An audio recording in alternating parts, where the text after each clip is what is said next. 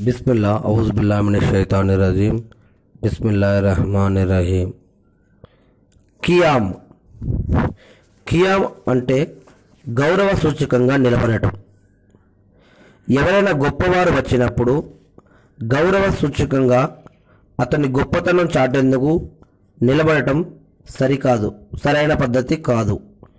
ఎందుకంటే గొప్పతనం కోసం నిలబడటం కేవలం సృష్టికర్త అయిన దేవుడైన అల్లా సుబానతాల ఆరాధన కోసమే నిలబడాలి. అల్లా యొక్క ఆదేశం ఖురాన్లో రెండవ సూరాలో సూర్య అల్ బక్రాలోని రెండు వందల ముప్పై ఎనిమిదవ వాక్యం కనుక చూస్తే అల్లా సన్నిధానంలో వినయ విధేయతలతో నిలబడండి. సో ఇతరులు ఎవరైనా గొప్పవారు వచ్చినా గొప్ప వచ్చినప్పుడు గౌరవ సూచకంగా అతని గొప్పతనం చాటేందుకు నిలబడటం సరైనది కాదు. ఇస్లాం పద్ధతి ప్రకారం అయితే గనక. అబు సయ్యద్ కుదిరి రజల్లా గారి కథనం ప్రకారం ఒక హదీస్ కనుక చూస్తే ముతఫకున్ అలహిలో అదీస్ కనుక చూస్తే మిస్కాతుల్ మసాబిహిలోని నాలుగు వేల అరవై ఆరు వందల తొంభై ఐదవ హదీస్. ఏకీభవత్యం. అబూ సయ్యద్ కుదిరి రజల్లా గారి కథనం ప్రకారం బను కురైజహ్ యూద యూదులు సాద్ తీర్పు పట్ల సంతృప్తి ప్రకటిస్తే ప్రవక్త మొహమ్మద్ అస్లం సాద్ బిన్ మహాజ్ను పిలిపించారు. అప్పుడు అతను గాయాలు తగిలి అనారోగ్యంగా ఉన్నారు. నడవలేకపోతున్నారు. వాహనంపై ఎక్కి ప్రవక్త మొహమ్మద్ అస్లం మస్జిద్కు వచ్చారు. అప్పుడు ప్రవక్త మొహమ్మద్ అన్సారులతో మీరు మీ నాయకుడు సాదుబిన్ మహాజ్ను వాహనంపై నుండి దించటానికి నిలబడండి అని అన్నారు. అంటే సాదుబిన్ మువాజ్ అన్సారీ అబ్దుల్ అషహల్ తెగకు చెందినవాడు. ఇతను ముసాబ్ బిన్ ఉమైర్ రజల్లా గారి ద్వారా ఇస్లాం స్వీకరించాడు. ఇస్లాం స్వీకరించారు. సహచరుల చరిత్రలో ఇలా ఉంది. సాదిబిన్ జురారహ్ ఇంట్లో ముస్అబ్ బిన్ ఉమైర్ ఉండేవారు. అతనితో సాదిబిన్ మువైజ్ ఇస్లాం స్వీకరిస్తే ఇద్దరు వ్యక్తులు కూడా అవిశ్వాసంలో ఉండలేరు. అందువల్ల మీరు ఆయన గురించి ఆలోచించండి అని అన్నారు. Saad bin Muadh Musab bin Umair వద్దకు వచ్చారు. అప్పుడు అతను సాద్తో నేను ఒక విషయం చెప్పాలనుకుంటున్నాను. తమరు కూర్చొని నిదానంగా వినండి. స్వీకరించడం స్వీకరించకపోవడం మీ ఇష్టం. ఆ విషయం అయితే నేను చెప్పిన తర్వాత స్వీకరించాలా వద్దా అన్నది మీ ఇష్టం అన్నారు. సాద్ దానికి ఒప్పుకున్నారు. అప్పుడు ముస్తాబ్ బిన్ ఉమైర్ ఇస్లాం వాస్తవాన్ని గురించి వివరించారు. ఈ ఖురాన్లోని కొన్ని ఆయతులను పఠించి వినిపించారు. వాటిని విన్న సాద్ కలిమా షహదత్ పలికి కలమా చదివి అషదన్న లా ఇలాహ ఇల్లల్లాహ్ వా మొహమ్మద్ అన్న అబ్దుహు వా రసూలుహు షహదత్ కలిమా యొక్క షహదహ్ పలికి ఇస్లాం స్వీకరించారు. అబ్దుల్ అషహల్ తెగలో వెంటనే ఈ వార్త వ్యాపించింది. సాద్ తన ఇంటికి వెళ్ళారు. అక్కడ అతని కుటుంబం వారు ఇప్పుడు ఆ గౌరవం ఉండదు అని అన్నారు. సాధు నిలబడి మీలో నాకు ఎటువంటి స్థానం ఉంది? అని అడిగారు. దానికి అందరూ నాయకులు మరియు గౌరవ మర్యాదలు గల గలవారు అని అన్నారు. అప్పుడు సాధు మీరు ఇస్లాం స్వీకరించినంత వరకు నేను మీతో మాట్లాడను అని అన్నారు. సాధుకు తన జాతిలో ఉన్న గౌరవ మర్యాదల ప్రభావం వల్ల సాయంత్రం కాకముందే అతని తెగవారందరూ ఇస్లాం స్వీకరించారు. మదీనా అంతా తక్బీర్లతో నినాదాలతో మారుమ్రోగింది ఇస్లాం వ్యాప్తిలో సాద్ రజల్లా గారు చాలా గొప్ప పాత్ర వహించారు. ఈ విషయంలో ఎవరూ అతనికి వ్యతిరేకంగా ఉండేవారు కారు. అందుకే ప్రవక్త ముహమ్మద్ సరస్లం గారు అన్సార్లలోని ఉత్తమ కుటుంబాలు బను నజ్జారవి వారి తరువాత స్థానం అబ్దుల్ అష్హల్వి అని ప్రవచించారు. ఈ సంఘటన ఉగ్బా ఊలా ఉగ్బా సానీల మధ్య కాలంలో జరిగింది. సాద్ ఇస్లాం స్వీకరించిన తరువాత ముస్ ముస్అబ్ను అక్కడి నుండి తన ఇంటికి రప్పించుకున్నారు. ఇక ఇతర వివరాలు కనుక చూస్తే కొన్ని రోజుల తర్వాత ఉమ్రా కోసం మక్కా బయలుదేరారు. అతని స్నేహితుడు ప్రముఖ నాయకుడైన ఉమయహ్ బిన్ కలఫ్ ఇంట్లో విడిది చేశారు. ఉమయహ్ బిన్ కలఫ్ మదీనా వస్ వస్తే వీరి వద్ద విడిది చేసేవారు. హారాం ఖాళీగా ఉంటే నాకు చెప్పు. హారాం హరాం కా మక్కా వద్ద హారాం కనుక ఖాళీగా ఉంటే నాకు చెప్పు అని అన్నారు. మధ్యాహ్న సమయంలో అతడు అతడితో కలిసి తవాఫ్ చేయటానికి బయలుదేరారు. దారిలో అబూ జహల్ను కలిశారు. ఇతనెవరు అని అడిగారు. దానికి ఉమయ్యహ్ సాద్ అని అన్నారు. అప్పుడు అబూ జహల్ ఎంత ఆశ్చర్యం! నీవు ఆ మార్గభ్రష్టులకు ఆశ్రయం ఇచ్చి వారికి సహాయం చేస్తూ మక్కాలో నిర్భయంగా తిరుగుతున్నావు. ఒకవేళ నీవు ఇతని వెంట ఉండి ఉండకపోతే నీవు ఇంటికి చేరడం కష్టమైపోయేది అని అన్నాడు. వెంటనే సాద్ ఆగ్రహం వ్యక్తం చేసి నన్ను ఆపి చూడండి నేను మీ మదీనా మార్గాన్ని మూసివేస్తాను అని అన్నారు. ఉమేహ్ బిన్ కలఫ్ ఓ Saad Abul Hakam Abul Jahl Mecca పాలకుడు అతని ముందు మెల్లగా మాట్లాడండి అని అన్నారు. దానికి సాద్ రజల్లా గారు ఊరుకోండి. నేను ప్రవక్త మొహమ్మద్ సల్లాంను ముస్లింలు మిమ్మల్ని సహ సంహరిస్తారని అంటూ ఉండగా విన్నాను. అని అన్నారు. దానికి వాడు మక్కాలోకి వచ్చి చంపుతారా? అని అడిగాడు. అతడు అది మాత్రం తెలియదు అని అన్నాడు. ఈ భవిష్యవాణి ఫలించే సమయం భద్ర యుద్ధంగా పరిణమించింది. అవిశ్వాసులు మదీనాపై దాడి చేయడానికి ఆయుధాలతో యుద్ధ సన్నాహాలు చేశారు. ఈ వార్త ప్రవక్త మొహమ్మద్స్లంకు అందింది. ప్రవక్త మొహమ్మద్స్లం అనుచరులతో అనుచరులతో సంప్రదించారు. సాద్ లేచి ప్రవక్త మేము తమరిని విశ్ విశ్వసించాము ధృవీకరించాము విధేయత చూపాము. మీ మనసులో ఉన్నది ఆదేశించండి. మిమ్మల్ని పంపిన ఆ అల్లా సుబానతాల యొక్క సాక్షి. ఒకవేళ మీరు సముద్రంలో దూకమన్నా మేము సిద్ధంగా ఉన్నాం. మాలో ఒక్కరు కూడా ఇంట్లో కూర్చోరు. యుద్ధం అంటే మాకు ఎటువంటి భయం లేదు. ఇన్షాల్లా యుద్ధ మైదానంలో మేము సత్యసంధులుగా నిరూపించుకుంటాము అని అన్నారు. అల్లా మా ద్వారా తమరికి కంటి చలువ ప్రసాదించుగాక అని ప్రసంగించారు. ప్రవక్త మొహమ్మద్ అస్లం ఈ ప్రసంగం వల్ల చాలా సంతోషించారు. సైన్యాన్ని సన్నద్ధం చేసి సమయం దగ్గర సమయం దగ్గరైంది. ప్రవక్త మొహమ్మద్ ఔస్ తెగ పతాకం సాద్కు అప్పగించారు. ఉహూద్ యుద్ధంలో సాద్ రజల్లా గారు ప్రవక్త మొహమ్మద్ వద్దే తన నివాసం ఏర్పరచుకున్నారు. ప్రవక్త మొహమ్మద్ అవిశ్వాసులతో మదీనాలోనే యుద్ధం చేద్దామని అన్నారు. Abdullah bin Ubayy bin Salam దీన్నే ఏకీభవించారు. కానీ కొందరు వీరమరణం కోసం ఉత్సాహవంతులైన యువకులు బయటకు వెళ్ళి యుద్ధం చేద్దామని అన్నారు. అధికులు దీన్నే సమర్థించారు. అనంతరం ప్రవక్త ముహమ్మద్ సుస్లం వారిని సమర్థిస్తూ ఆయుధాలు ధరించడానికి లోపలికి వెళ్ళ వెళ్ళారు. సాద్ మరియు ఉసైద్ మీరు ప్రవక్త సలహు అలైహిస్లాంను బయటకు తీసుకుపోవాలని పట్టుబడుతున్నారు. ప్రవక్త మోమసస్లంపై దైవవాణి అవతరిస్తూ ఉంటుంది. అందువల్ల మీ నిర్ణయం వెనక్కి తీసుకోండి. సమస్యలను ప్రవక్త ముహమ్మద్ గారిపై వదిలివేయండి అని అన్నారు.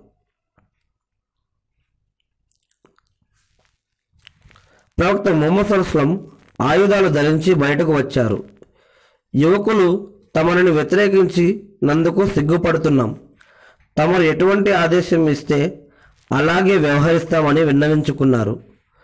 అప్పుడు ప్రవక్త ముహమ్మద్ అస్లం ప్రవక్త ఆయుధాలు ధరిస్తే యుద్ధానికి సిద్ధమై దిగుతాడు అని అన్నారు. ఏదైనా ఒక ప్రవక్త ఆయుధాలు గనుక ధరిస్తే యుద్ధానికి సిద్ధమై దిగుతాడు అని అన్నారు. ఏది ఏమైనా యుద్ధం ప్రారంభమైంది. ఇస్లామీయ సైన్యం జయించింది. కానీ మళ్ళీ వెనక్కి తగ్గింది. అప్పుడు ప్రవక్త మొహమ్మద్ అస్లం అందరికంటే ముందు ఉన్నారు.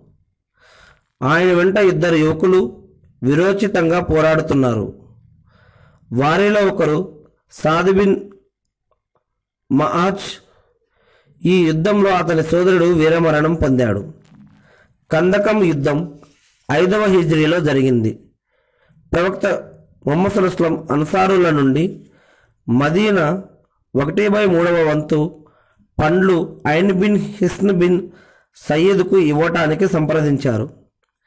ఈ సంప్రదింపుల్లో సాద్ బిన్ ఉబాదహ్తో పాటు సాద్ బిన్ మహాజ్ కూడా ఉన్నారు. యుద్ధ సమయం ఆసన్నమైంది. ఆయుధాలు ధరించి యుద్ధం మైదానానికి యుద్ధ మైదానానికి బయలుదేరారు. బను హరిసా కోటలో అతని తల్లిగారు ఉండేవారు. ఆమె ఆయిషా రజల గారి వద్ద కూర్చొని ఉన్నారు. కవిత్వం చెబుతూ వెళ్ళారు. అప్పుడు తల్లిగారు కుమార వెనుక ఉండిపోయావు తొందరగా వెళ్ళు. ఆయుధం ఉన్న చేయి బయట బయట ఉంది. అప్పుడు ఆయిషా రజల్లా గారు ఓ సాద్ ఓ సాద్ తల్లి గారు చూడండి ఆయుధం చాలా చిన్నగా ఉంది అని అన్నారు. యుద్ధ మైదానంలోకి వెళితే హిబ్బాన్ బిన్ అబ్బే మనాఫా కొడుకున్నాడు. చేతి మీద దాడి చేయగానే చేయి తెగిపోయింది. ఇంకా గర్వంగా నేను అర్ఫా కొడుకును అని అన్ని అన్న అని అన్నాడు. ప్రవక్త మొహమ్మద్ సుస్లం గారు విని నీ వినాశంగాను అని శపించారు. ఆ తర్వాత మస్జిదే నబవీలో ఒక టెంట్ వేయబడింది. మస్జిదే నబవీలో ఒక టెంట్ వేయబడింది. రఫీదా అస్లమియను అస్లమియను అతని సేవ కోసం నియమించారు. సాద్ ఓ టెంట్ ఆ టెంట్లోనే ఉండేవారు. ప్రవక్త మొహమ్మద్ అస్లం ప్రతిరోజు ఆయన్ను పరామర్శించేవారు. ఎందుకంటే అతనికి జీవితంపై విరక్తి పుట్టే అవిశ్వాసులతో ఇంకా యుద్ధాలు ఉంటే నన్ను బ్రతికి ఉంచు. నాకు వారితో యుద్ధం చేయాలని చాలా కోరికగా ఉంది. ఎందుకంటే వారు నీ ప్రవక్తను హింసించారు తిరస్కరించారు మక్కా నుండి తీసివేశారు. ఒకవేళ యుద్ధాలు పూర్తయ్యే సమయం వస్తే ఈ గాయం ద్వారా నాకు వీరమరణం పొందే అవకాశం ప్రసాదించు. ఇంకా బనీ కురైష్ కురైజహ్ విషయంలో నాకు కంటి చలువ ప్రసాదించు అని అల్లాహ్ సృష్టికర్త అయిన అల్లాను ప్రార్థించారు. ఈ దువా యొక్క రెండవ భాగం స్వీకరించబడింది. ప్రవక్త ముమసస్లం అస్లం బను కురజహ్ను బహిష్కరించినప్పుడు వాళ్ళు మేము సాధును న్యాయమూర్తిగా స్వీకరిస్తామని అన్నారు. ప్రవక్త ముమసస్లం సాధుకు ఈ విషయం తెలియపరిచారు. గాడిదపై ఎక్కి వచ్చారు. మస్జిద్ దగ్గరకు వచ్చారు. అప్పుడు ప్రవక్త సలహస్లం అన్సారులతో మీ నాయకుడిని వాహనంపై నుండి దింపటానికి లేవండి అని అన్నారు. ఆ తర్వాత సాద్తో వీళ్ళు మీ తీర్పు కోసం వేచి ఉన్నారు. అప్పుడు సాద్ వీరిలో యుద్ధం చేయగలిగే వారిని నరికి వేయండి. యుద్ధం చేయగలిగే వారిని నరికివేయండి స్త్రీలను పిల్లల్ని బానిసలుగా చేసుకోండి. ఇంకా ధనాన్ని పంచివేయండి. ధనాన్ని పంచిపెట్టేసేయండి అని తీర్పు ఇచ్చారు. ప్రవక్త మోసస్లం అది విని నీవు ఆకాశ ఆదేశాలను అనుసరించావు అని అన్నారు. దీని ప్రకారం తన ముందు నాలుగు వందల మందిని నరికించారు. మరణం.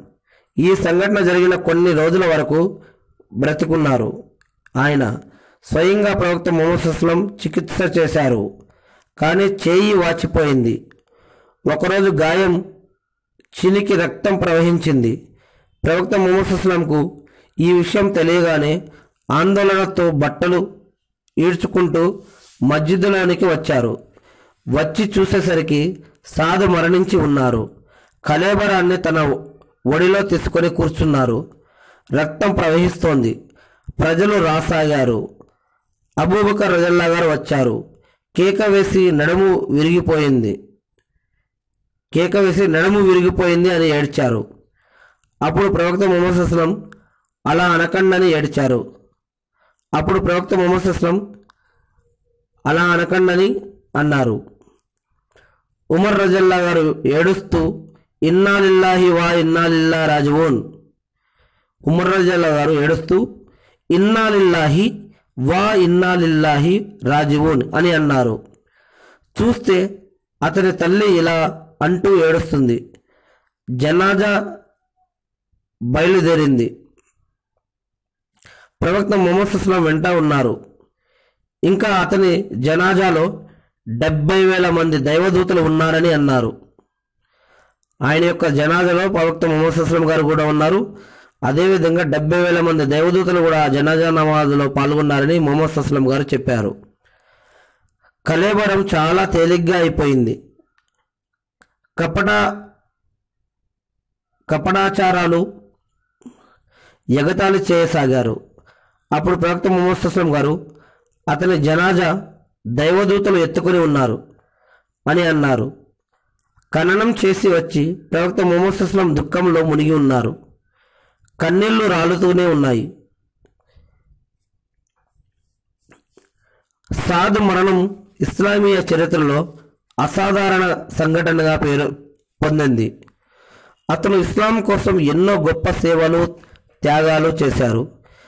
అతనిలో ధార్మిక ఉత్సాహం ఉండేది.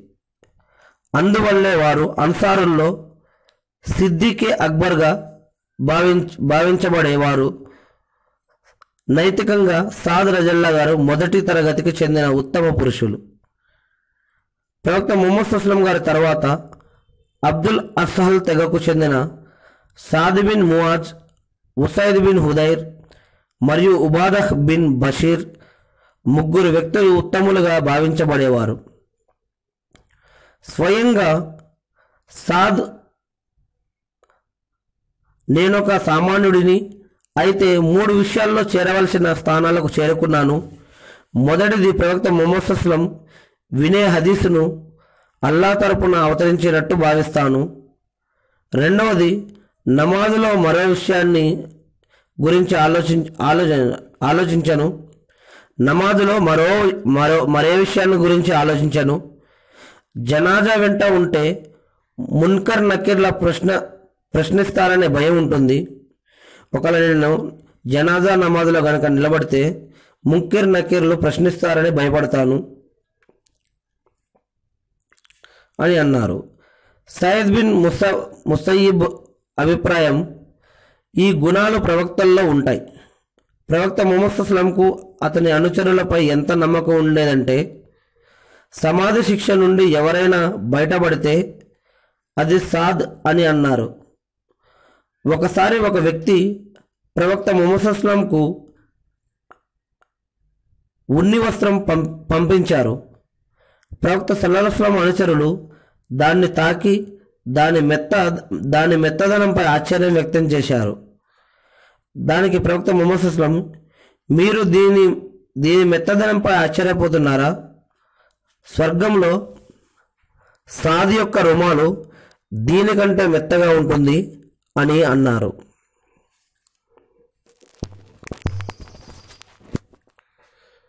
మిస్కాతుల్ మసాబీహిలోని నాలుగు వేల మిస్కర్తుల మసాబీహ్లోని నాలుగు వేల ఆరు వందల తొంభై ఐదవ హదీసు. ఇప్పటిదా ఇప్పటివరకు మనం తెలుసుకున్న హదీసు. అదేవిధంగా ఇంకొక ఏకీభవితమైన హదీసు నాలుగు వేల ఆరు వందల తొంభై ఆరవ హదీసు. అబ్దుల్లా బిన్ ఉమర్ రజల్లా గారి కథనం ప్రకారం ప్రవక్త మొహమ్మద్ సుస్లాం ప్రవచనం. ఒక వ్యక్తిని అతని చోటి నుండి లేపి అక్కడ కూర్చోకూడదు. అయితే ప్రజలు ఒకరి గురించి మరొకరు సర్దుకోవాలి. దానివల్ల ఇతరులకు కూడా కూర్చునే స్థ- స్థలం లభిస్తుంది. బుకారి మరియు ముస్లిం హదీస్. అబూ ఉరేరా రజల్లా గారి కథనం ప్రకారం ప్రవక్త మొహమ్మద్ సుస్లం గారి యొక్క ప్రవచనం. కూర్చొని లేచిపోయి మళ్ళీ తిరిగి వచ్చిన వ్యక్తి మాత్రమే తాను కూర్చున్న చోటుకు హక్కు ఎక్కువ హక్కు గలవాడు. ముస్లిం హదీస్. మిస్కాతుల్ మసాబీలోని నాలుగు వేల ఆరు వందల తొంభై ఏడవ హదీస్ ముస్లిం హదీస్. దృఢం. అబూ హురేరా రజల్లా గారి కథనం ప్రకారం ప్రవక్త మొహమ్మద్ సుస్లం గారు ఏం చెప్పారంటే ఎవరైతే కూర్చుని ఒక ప్లేస్లో కూర్చున్నాడో అతను మళ్ళీ లేచిపోయాడు మళ్ళీ ఆ ప్లేస్లోకి తిరిగి వచ్చాడు. ఆ వ్యక్తి మాత్రమే తాను కూర్చున్న చోటికి ఇంతకుముందు తను ఏక తాను కూర్చున్న చోటికి ఎక్కువ హక్కుదారుడు అని అని చెప్పి చెప్పారు. ఇంకొక దిశ అనసర జిల్లా గారి కథనం ప్రకారం ప్రవక్త మొహమ్మద్ అస్లాం గారు అనుచరులు ప్రవక్త మొహమ్మద్ అస్లాంను చాలా ప్రేమించేవారు. అయినప్పటికీ ప్రవక్త మొహమ్మద్ అస్లాంను చూసి నిలబడేవారు కారు. మొమసస్లను చాలా ఎక్కువగా ప్రేమించే ఆ సహబాలు కూడా ఒకవేళ మొహమ్మద్ గారు కనిపించినా వాళ్ళ దగ్గరికి వస్తున్నా వచ్చినా కూడా వాళ్ళని చూసి నిలబడేవారు కాదు ఆయన్ని చూసి.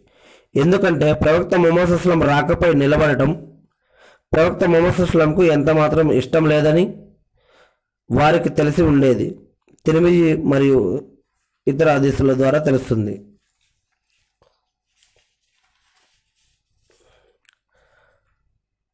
ము మావియా రజల్లా గారి కథనం ప్రకారం ప్రవక్త ముహమ్మద్ సుస్లాం గారి ప్రవచనం. తన గౌరవార్థం ప్రజలు నిలబడాలని కోరుకునేవారు తన నివాసాన్ని నరకంలో ఏర్పరచుకోవాలి. తన గౌరవార్థం అంటే ఎవరైనా వచ్చేటప్పుడు నేను వచ్చేటప్పుడు ఎవ- వాళ్ళు లేచి నిలబడాలి అని అనుకునే ఏదైనా నాయకుడు కానీ ఏదైనా వ్యక్తి కానీ తన గౌరవార్థం ప్రజలు నిలబడాలని కోరుకునే వారు తన నివాసాన్ని నరకంలో ఏర్పరచుకోవాలి అని అంటున్నారు. తిరుమిజి మరియు అబూదాబూద్ అదీస్ మిస్కాతుల్ మసాబీలోని నాలుగు వేల ఆరు వందల తొంభై తొమ్మిదవ అదీస్ బిస్మిల్లా అల్హమ్దుల్లా సుబహాన్ అల్లాహు అక్బర్. అల్హమ్దుల్లా సుబహాన్ అల్లాహ్ అక్బర్. అస్తఫరుల్లాహు అక్బర్. అల్హమ్దుల్లా సుబహాన్ అల్లాహ్ అక్బర్.